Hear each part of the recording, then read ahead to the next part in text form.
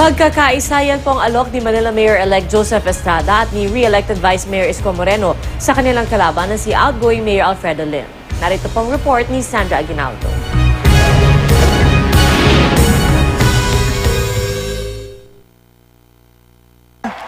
Joseph Ejercito Estrada. Sa huli, si Asyong Salonga at hindi si Dirty Harry ang nanaig. Hindi lang sa Tondo, kundi sa buong Maynila. Nanalo pati ang katandem ni dating Pangulong Joseph Estrada na si re-electionist Vice Mayor Isko Moreno kontra kay Lou Veloso. At sa kanilang tagumpay sa eleksyon, pagkakaisang alok nila sa kampo ng natalong si Manila Mayor Alfredo Lim.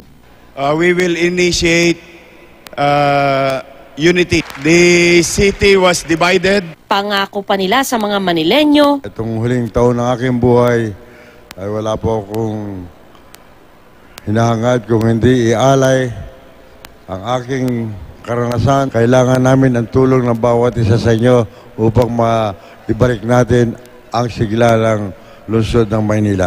Nung una'y tutol ang kampo ni Lim sa proklamasyon ng panalo sa mayoralty race sa Maynila.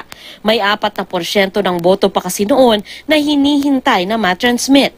Tingnan muna natin yung resulta. Ah, premature mag-comment kayo eh.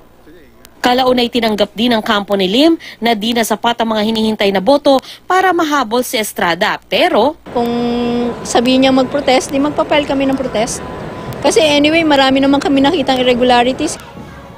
ang lokal na karera sa Maynila ang isa sa pinakamakukulay na laban nitong eleksyon. Ilang beses pang nagturuan at nagbatuhan ng aligasyon ang magkabilang panig. Sino na aresto for plunder on complaint of uh, Governor Chavit? Mr. President, kayo ba ito? Former President, pagpasensahan nyo na po talaga ako. Ah, hindi po kasi sapat yung yung panahon po natin at um, ang hanap... Was, one last na.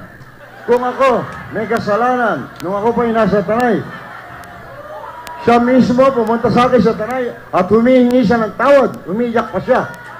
Para sa unang balita, Sandra Aguinaldo reporting.